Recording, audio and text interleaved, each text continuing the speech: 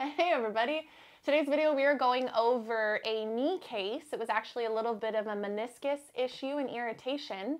So we're gonna go through what exercises, one, decrease some pain, and two, things he went home with um, to kind of build some support around the area. So Des is gonna take us through it. What Yeah. was the presentation like? Uh, so presentation of this patient, he was experiencing pain on the outside of his knee.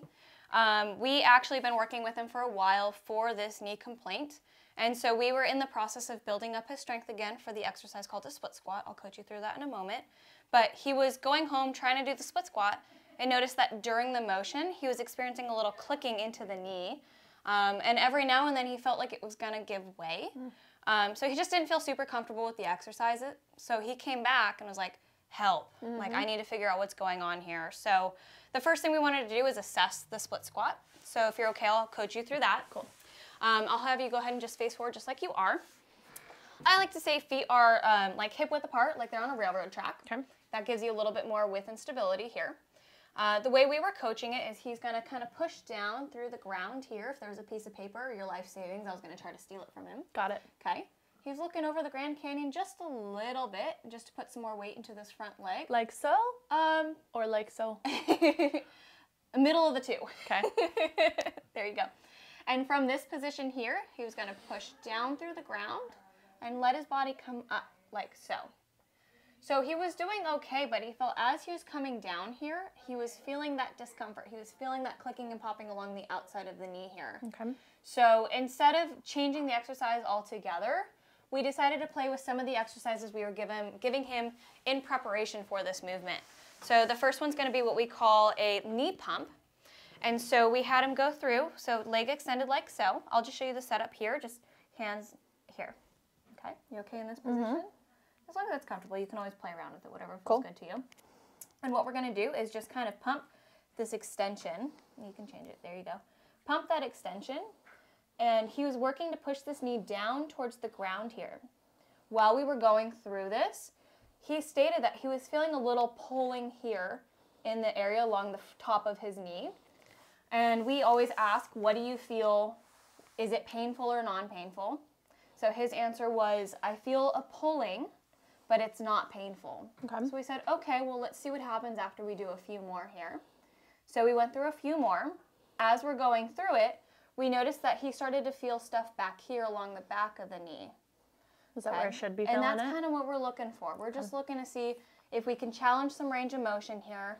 It's not painful, so that's always okay. If it was painful, we might change things up or modify things accordingly. So it's okay if I feel my discomfort at first, but the more I do, if it's less, it's okay. If If, it gets less. more or stays the same, maybe don't do this. Yeah. Cool. Yeah, yeah, sounds about right there. Awesome. So we went through about 20 ish or so. Then we had him retest. So his outcome measure was actually that split squat. So we brought him back to the split squat. Okay, same position. He was pushing down through the ground, got himself ready, coming up. Still felt a little discomfort on the outside of the knee here. Maybe like it was giving way, a little clicky poppy. So we decided to challenge that same side glute. So I'm gonna have you go down on the ground. Uh, we're gonna go nice and low here. So actually keep the arm down, like that. There you go.